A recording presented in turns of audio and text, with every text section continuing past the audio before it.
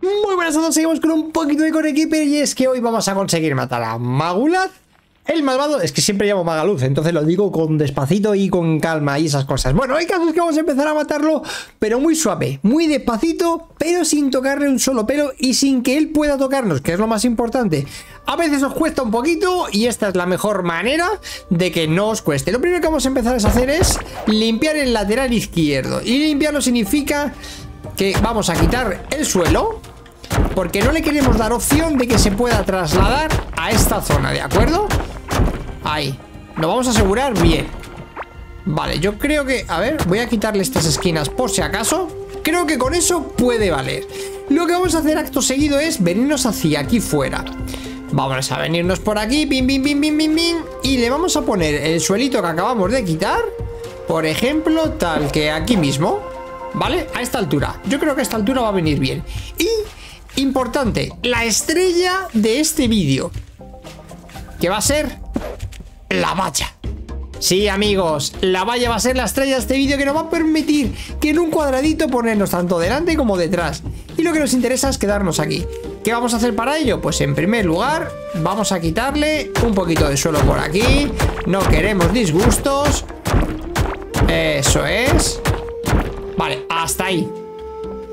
Y vamos a dejar este camino. Bien, entonces, lo importante va a ser lo siguiente, ¿vale?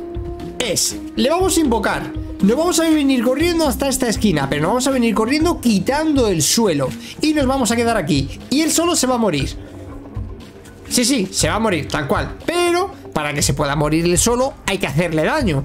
Y para eso nos traemos a nuestra vieja confiable, las trampas. Sí, amigos, no le vamos a sacar rendimiento a estas trampas. Una cosa increíble, tú.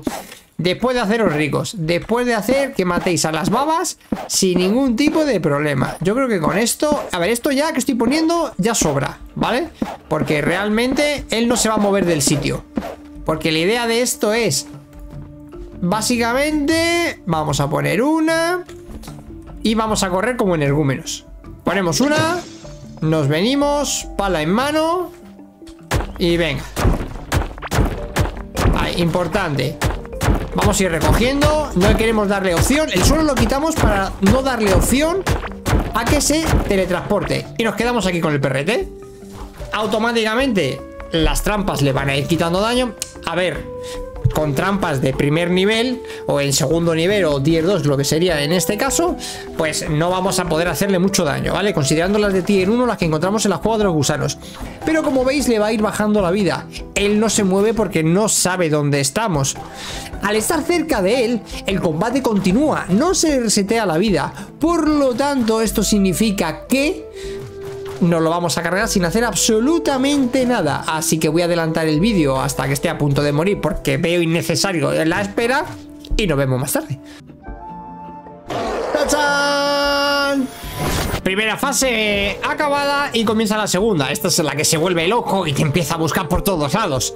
Y como veis, eh, nada, está Tutupi. Se ha quedado aquí Tutupi en plan de, si no tengo enemigo, ¿qué hago? Ah, está cerca, no me puedo reiniciar. Sigamos. Venga, corte y avanzamos. Bueno, ya le queda poquito. Como veis, realmente hemos puesto un montón de trampas, pero le pegan tres. Cuatro a lo sumo. Si me descuidas una quinta que le pegue por detrás. Con lo cual la cosa va lenta, ¿vale? Este método es lento. Pero como veis es muy seguro. Vale, crack, dame tu cofre que me lo has robado, bandido. Vale, y con las mismas pues nos volvemos para abajo, ponemos el suelito y vamos a recoger nuestro trofeo. He de decir que este método es un poquito lento, no os voy a engañar, ¿vale? Pero es súper seguro.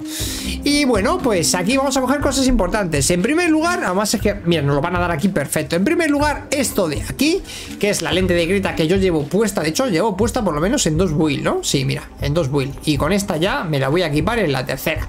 Del tirón. Porque la verdad es que es este pequeño dash, que no es un dash como tal, que es un teletransporte que sirve para más cosas de lo que pensáis. Pero de esto hablaremos en un vídeo un poquito más adelante. Bueno, como decía, cosas muy importantes. En primer lugar, esta de aquí. Esto de aquí, que son unas cartas, que te pone una carta doblada con bordes dorados en la imagen del núcleo, puede formar parte de una baraja.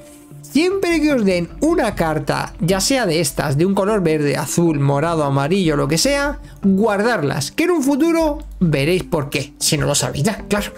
Y a partir de aquí, bueno, pues recogemos el, el, collar, que es una de las cosas que te dropea y demás. Os voy a decir un momentito. Por cierto, hablando ya para enfocar un poco y daros un poquito más de información de Magulaz, os va a dropear, pues bueno, el cofre del titán, que es el que acabamos de abrir, el tenemos el collar de calavera, que es el que acabamos de coger, ¿vale? El anillo ya nos lo dio en cuando os he puesto la guía de cómo derrotarle o cómo lo hice yo, más o menos, para que lo vieseis, ¿vale? Luego tenemos el cráneo de chamán, que también lo podéis recoger, el bastón arcano, este, bueno, será este la traducción, ¿vale? Sería como este, ¿vale? Este también os lo dropea él, o sea que muy bien.